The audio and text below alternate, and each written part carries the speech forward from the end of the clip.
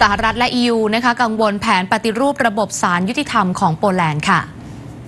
รัฐบาลสหรัฐและบรรดาประเทศสมาชิกสหภาพยุโรปหรือว่า EU ต่างกังวลหลังจากที่รัฐบาลโปแลนด์อนุมัติผ่านร่างกฎหมาย ที่อนุญาตให้รัฐสภาซึ่งมีพรรค Law and Justice หรือว่า PiS ครองเสียงข้างมาก ยุติการทำงานของสมาชิกสภาตุลาการแห่งชาติชุดปัจจุบัน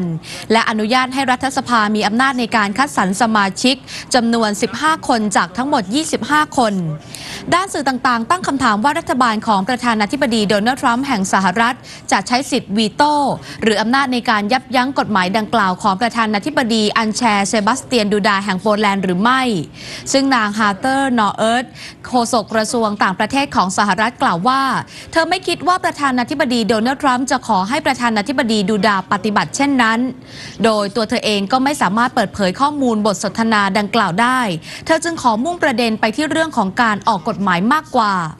ไม่เพียงเท่านั้นนางนอเอิร์ธยังพูดถึงประเด็นที่รัฐบาลสหรัฐ กังวลว่าการปฏิรูปฝ่ายตุลากรฝ่ายตุลาการของรัฐบาล